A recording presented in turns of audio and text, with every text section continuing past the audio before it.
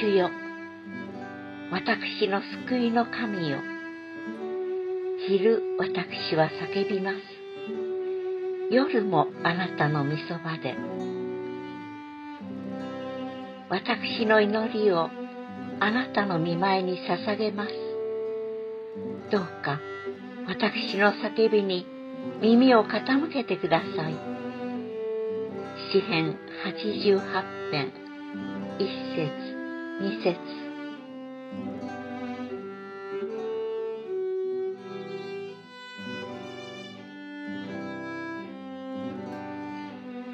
何も思い煩わないであらゆる場合に感謝を持って捧げる祈りと願いによってあなた方の願い事を神に知っていただきなさい。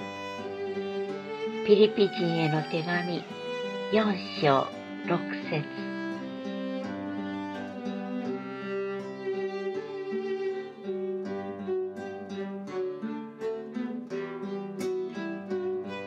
主はあなたへの裁きを取り除きあなたの敵を追い払われたイスラエルの王。主はあなたのただ中におられる。あなたはもう災いを恐れることはない。ゼパニア書3章15節。